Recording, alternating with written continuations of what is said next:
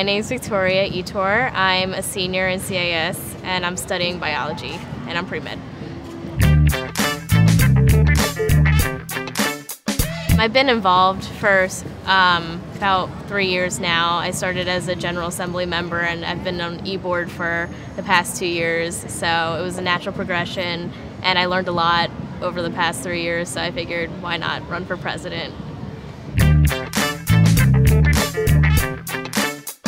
Well, we had our block party, which was our biggest push um, for you know the new school year. We're also going to be at Club Fest, trying to get students to come to our first GA meeting where they can learn about running for positions or just being GA members um, in general. And that's our big push. Um, we're also doing um, a lot of events throughout you know the first month of school to really try and get the older group of students as well involved. Our biggest goal is really to get back to the basics. Um, over the past few years, we've been involved trying to get you know more students to come and everything, but really we need to keep the students informed. And you know, a lot has been changing in the university in the past year, and our biggest concern is making sure that the CAS students really understand what's going on and know that they can come to us with any questions or suggestions, and that we can bring it to the university.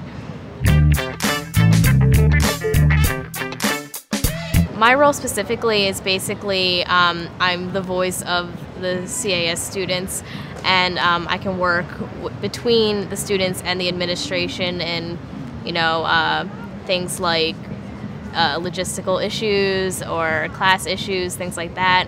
And um, the executive board itself is um, basically the people helping me do that in different ways. Like we have like a curriculum chair that will help us with um, any class issues, he might hear about it, bring it to me, and then I can bring it to the administration. So we all work together to make it, um, you know, a fun place for everyone to be.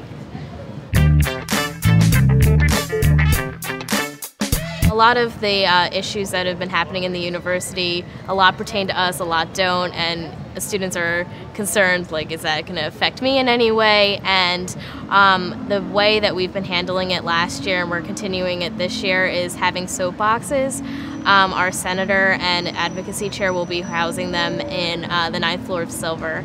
And, um, you know, we're going to try and have them at least once a month. And um, that will be the way to hear what everyone has to say, their opinions. One of the biggest obstacles that freshmen face is probably uh, balancing coming to college with uh, living in the city. Uh, we're trying to fix that um, by having programs that uh, the freshmen can, you know, meet other people in CAS and hopefully make this huge university and this big city a smaller community for them. The best part is you're really getting a real world experience in, um, you know, early in life. It's 18, you're already experiencing things that people would have to wait until after college to see, and I think that's the best part about it.